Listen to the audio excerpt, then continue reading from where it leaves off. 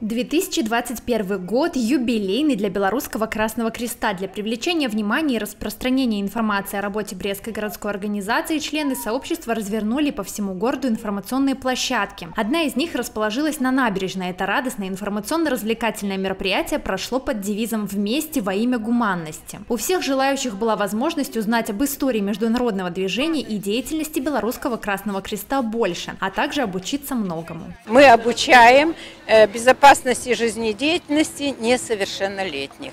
Также одно из направлений проводим мастер-классы по обучению населения. Тут также работают э, с детками. У нас э, есть такие разукраски, э, и тут обучает наш тренер тоже безопасности и оказанию жизнедеятельности и оказанию первой помощи.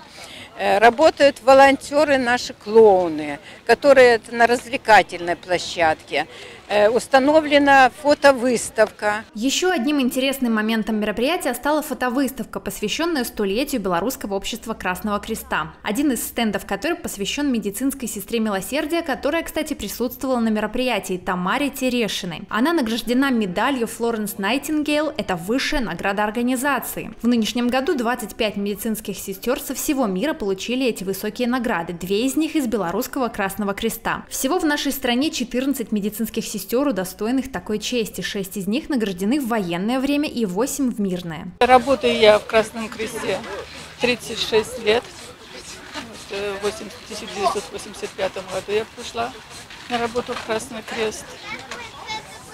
Я обслуживаю подопечных больных на дому. Это одинокие, одиноко проживающие люди, инвалиды.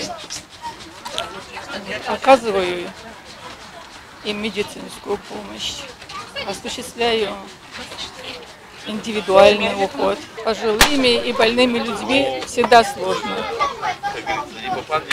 Потому тут и характер, и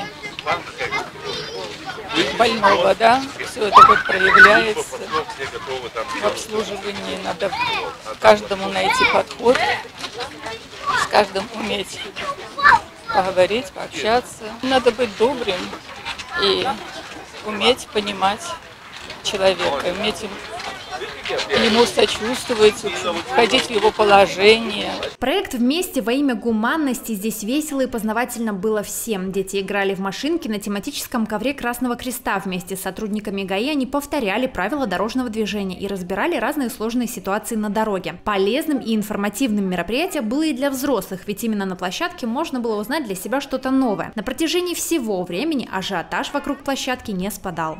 Если ты вышел на дорогу, посмотри налево-направо и перейди дорогу. Если машина близко и она быстро едет, то нужно подождать, пока машина проедет.